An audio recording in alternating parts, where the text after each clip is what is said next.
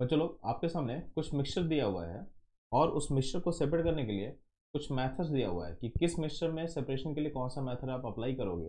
ये जो क्वेश्चन है एन के लाइन से उठाया हुआ है। तो ये टॉपिक जब आप एन पढ़ोगे तो सारे मेथड्स में उसका एग्ज़ाम्पल दिया हुआ, आपको सारे एग्ज़ाम्पल मिल जाएगा। ठीक है? तो चलो इसको हम लोग सॉल्व करते हैं। तो ध्यान आपके पास ऑप्शन बी में हाइड्रोकार्बन दिया हुआ है, जो कि मास जिसका मास पास पास है तो इनका बॉलिंग पॉइंट बहुत क्लोज होगा। इसको सेपरेट करने के लिए बेस्ट मेथड क्या होता है? फ्रैक्शनल डिस्टिलेशन यानी बी के लिए ऑप्शन फोर मैच करेगा। ठीक है? तो बी के लिए ऑप्शन फोर बस एक ही जगह दिया हुआ है। ऑप्शन बी में स्मॉल बी में, यानी हम डायरेक्टली बोल सकते हैं कि मेरा करेक्ट ऑप्शन होगा। ठीक? अब चलते हैं। बाकी ऑप्शंस के लिए भी हम करेक्ट मैच देख लेते हैं एक बार। ठीक है?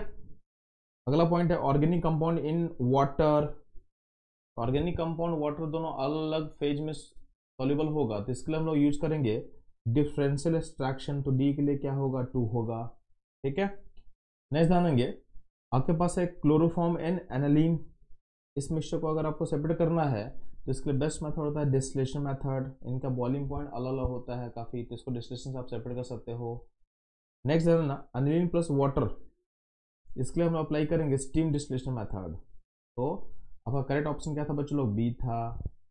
तो इस क्वेश्चन के लिए सिंपली आपको एन का लाइन्स को रीड करना है और इस टॉपिक में यही काम करना है। आपका स्ट्रेटजी इस बार के लिए सिंपल होगा कि एन का लाइन्स इनके लिए रीड करो, इससे बाहर जनरली क्वेश्चन नहीं फॉर्म करता है।